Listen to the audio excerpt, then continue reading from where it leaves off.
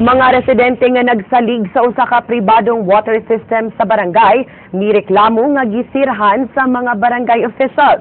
Politika ang nakitaan nga hinungdan. King Perez Suginlimi. Ako, ako mo arkabyar, pero pag ingon ninyo nga illegal, ngano man ang kasunsi, wa man na idonate og Nagabot kaganiyang buntag ang incumbent nga kapitan ug mga lumulupyo nga mireklamo sa pagsira sa water system sa barangay Angilan, lungsod sa Luginsan. Mipasangil ang mga residente nga giserhan sa bagong kapitan ng water system ubos sa pagmando ni Vice Mayor Chonsi Moreno. Human ni bisita ang Vice Mayor sa ilang dapit ni atong Enero, gipabalhin sila sa water system sa munisipyo o gitangtang ang mga kahimanan sa water system sa barangay. Maingon sila guba usaw mag-ayo nga giapil man sa nila ang connection sa wire padung sa Sibico electric post. Klaro kayo ug di amin mga tao nga ila gyud nga tuyo nga kuhaon ang maong water system. Anan, sir. Oh, gisipti na ko kay kabaton niya kay may manubag di ako. Sir, natay kining. Kay kani si maglimutan ako ni gagawid tagsasad. So, unsa na sir kining Sa 127 nga dunay metro sa tubig sa barangay water system, 27 lang ang nagpa-connect sa water system sa munisipyo. Matod ni Vice Mayor Chonsi Moreno nga dili dako og diferensya ang kantidad sa tubig gikan sa munisipyo ug sa barangay. Iya usab gisalikway ang mga pasangil nga lubog ang tinubdan sa tubig sa munisipyo. Kanang mga gahig-upod ba niya, ilahang gusto po siguro nga sila gimuda sa water system. Ikato si Junior manggilimutan, ngidam, ngidagan manggudto siya og barang, ah, konsihal to siya daan sa barangay, unya napilde. I don't know, ana kay dugay naman ang nag-operate, niya there was no incidents, nga dunay kuan, dunay nasakit, nga Nagkaproblema ang submersible pump sa water system sa Disyembre sa miaging tuig. Apan di nila mapayo ang water system tungod kay wa kini gidonate ngadto sa barangay. Uyo ng tag-iya sa tabay ug ang tag-iya sa luna nga nahimutangan sa tangke sa tubig sa libre nga paggamit silang luna apan di sila musugot nga i-donate ngadto sa barangay. di lang nako i-donate kay ug ato kung i-donate, hasol na kayo. Magkuan ko ang unsa pa diha, lain na kuan, lain na sang question, lain ng kapitan ba, lain na sang mga pangutana. Ano di mo tugutan? Asa man ni malusot din eh, uwap ako, uwap akong tugot. Ang angan, kasi suguon nga akong mga apo purus di eskwela.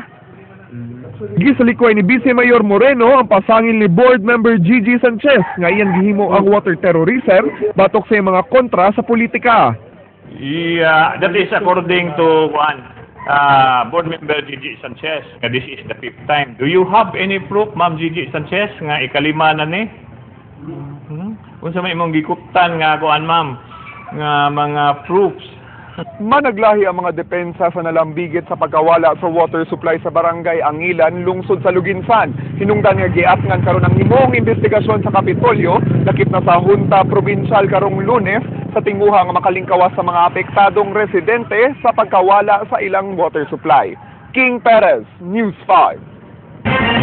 Mayor JVR sa Talisay City, pasangil nga gituyo sa konseho ang paglangay sa iyang project nga pagtukod sa bagong Tabunok Public Market.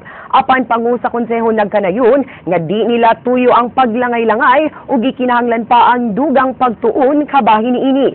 Leslie Caminare Vestil, Suginlimi.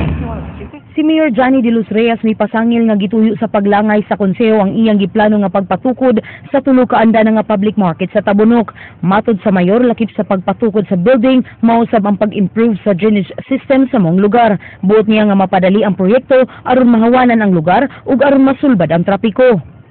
Naka sa merkado, dalata na na, nanay, nanay gitawag na to nga, nga, kanang ah, information sa akong city engineer nga, delikado na na mahugno.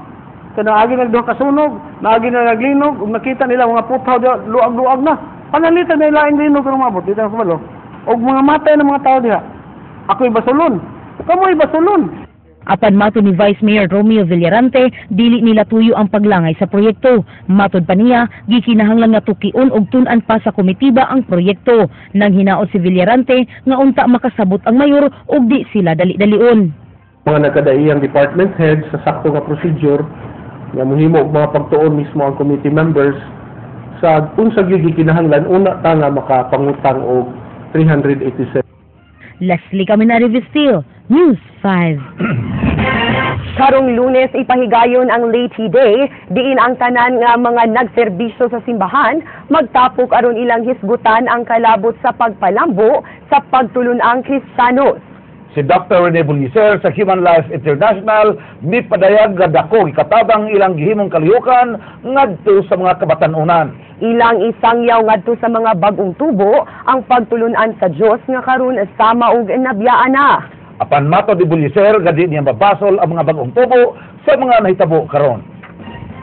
Nice gyud nga ang tanang yung sektor, especially not only the government, the civic, the religious, including the church, must join hands together.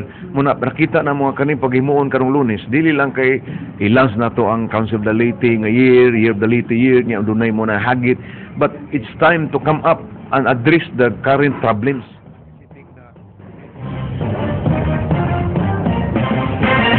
Ug mao kadto naglangkob sa ato mga balita sa Aksyon Bisaya karong adlaw, Biyernes, Marso 14, tuig 2014.